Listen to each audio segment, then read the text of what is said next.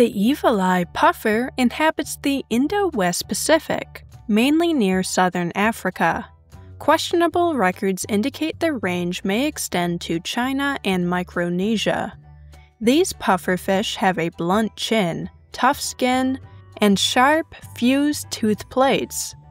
Their body coloration typically ranges from brown to green on top, with various sizes of pale spots, while the underside is white. They often lie buried in the sand with only their eyes protruding. When threatened, an evil eye pufferfish will inflate its body.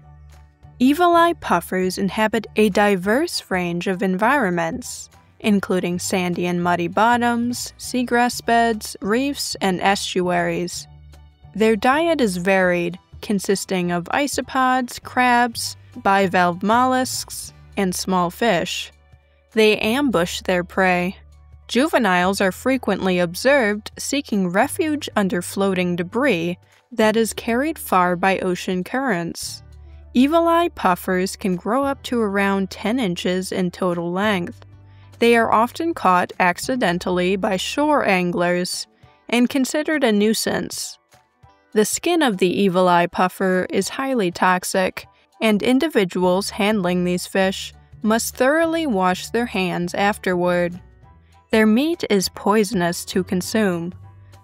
For more marine facts, click the subscribe button.